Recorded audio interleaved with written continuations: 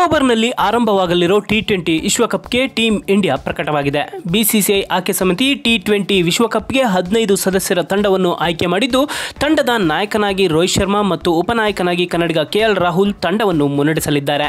ಇನ್ನು ಏಷ್ಯಾ ಕಪ್ನಲ್ಲಿ ತಂಡಕ್ಕೆ ತಲೆನೋವಾಗಿದ್ದ ಬೌಲಿಂಗ್ ವಿಭಾಗಕ್ಕೆ ಶಕ್ತಿ ತುಂಬಲು ತಂಡಕ್ಕೆ ಬೂಮ್ರಾ ಮತ್ತು ಹರ್ಷಲ್ ಪಟೇಲ್ ಎಂಟ್ರಿ ಕೊಟ್ಟಿದ್ದಾರೆ. ಆದರೆ ತಂಡದ ಸ್ಟಾರ್ ಆಲ್ರೌಂಡರ್ ಆಟಗಾರನಾಗಿರೋ ರವೀಂದ್ರ ಜಡೇಜಾ ಗಾಯದ ಸಮಸ್ಯೆಗೆ ತುತ್ತಾಗಿರೋದ್ರಿಂದಾಗಿ ಟಿ ಟ್ವೆಂಟಿ ವಿಶ್ವಕಪ್ನಿಂದಲೇ ಹೊರಗುಳಿದಿದ್ದಾರೆ. ಸದ್ಯ ತಂಡದಲ್ಲಿ ಒಂದಿಷ್ಟು ಆಟಗಾರರು ಮೊದಲ ಬಾರಿ ಅವಕಾಶವನ್ನು ಪಡೆದುಕೊಂಡರೆ ಇನ್ನೂ ಕೆಲವರು ಹಲವು ವರ್ಷಗಳಿಂದ ತಂಡದಲ್ಲಿ ಅವಕಾಶವನ್ನು ಪಡೆದುಕೊಂಡಿದ್ದಾರೆ.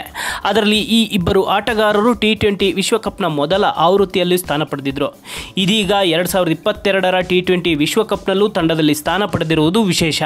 ಹೌದು, ಎರಡು ಸಾವಿರದ ಏಳರ ಟಿ ಟ್ವೆಂಟಿ ವಿಶ್ವಕಪ್ನ ಮೊದಲ ಆವೃತ್ತಿಯಲ್ಲಿ ದಿನೇಶ್ ಕಾರ್ತಿಕ್ ಮತ್ತು ರೋಹಿತ್ ಶರ್ಮಾ ತಂಡದಲ್ಲಿ ಸ್ಥಾನವನ್ನು ಪಡೆದುಕೊಂಡಿದ್ದರು ಮೊದಲ ಆವೃತ್ತಿಯಲ್ಲಿ ಆಡಿದ್ದ ಈ ಇಬ್ಬರು ಆಟಗಾರರು ಇದೀಗ ಹದಿನೈದು ವರ್ಷದ ನಂತರವೂ ಸಹ ಟಿ ಟ್ವೆಂಟಿ ವಿಶ್ವಕಪ್ ಆಡುತ್ತಿದ್ದು, ಈ ಇಬ್ಬರು ಆಟಗಾರರ ಮೇಲೆ ಹೆಚ್ಚಿನ ನಿರೀಕ್ಷೆಗಳು ಇದೆ.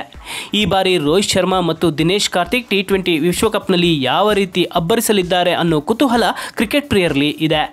ಇನ್ನು ಎರಡು ಸಾವಿರದ ಏಳರ ಟಿ ಟ್ವೆಂಟಿ ವಿಶ್ವಕಪ್ನಲ್ಲಿ ಚೊಚ್ಚಲ ಟಿ ಟ್ವೆಂಟಿ ವಿಶ್ವಕಪ್ಗೆ ಮುತ್ತಿಟ್ಟಿದ್ದ ತಂಡದಲ್ಲಿ ಇದ್ದ ಈ ಇಬ್ಬರು ಆಟಗಾರರು ಇದೀಗ ಎರಡು ಸಾವಿರದ ಇಪ್ಪತ್ತೆರಡರ ಟಿ ಟ್ವೆಂಟಿ ವಿಶ್ವಕಪ್ನಲ್ಲೂ ಕಪ್ಗೆ ಮುತ್ತಿಡಲಿದ್ದಾರಾ ಅನ್ನೋದನ್ನು ಕಾದು ನೋಡಬೇಕು. ನಿಮ್ಮ ಪ್ರಕಾರ ಟಿ ಟ್ವೆಂಟಿ ವಿಶ್ವಕಪ್ಗೆ ಪ್ರಕಟವಾಗಿರೋ ಟೀಮ್ ಇಂಡಿಯಾದ ಬಗ್ಗೆ ನಿಮ್ಮ ಅನಿಸಿಕೆ, ಅಭಿಪ್ರಾಯವೇನು? ಕಮೆಂಟ್ ಮಾಡಿ ತಿಳಿಸಿ.